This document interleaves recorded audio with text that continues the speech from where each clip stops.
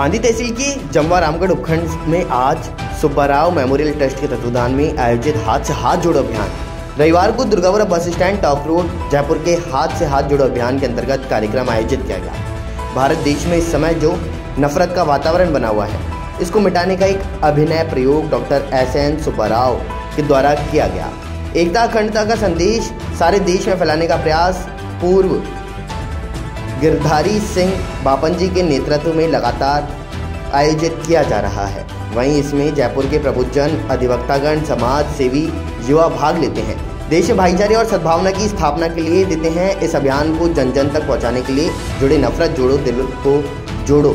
सब धर्मों को हो सम्मान, मानव मानव एक सम्मान का संदेश देते हैं। वहीं इसी के चलते हुए अब ये खबर सामने आई।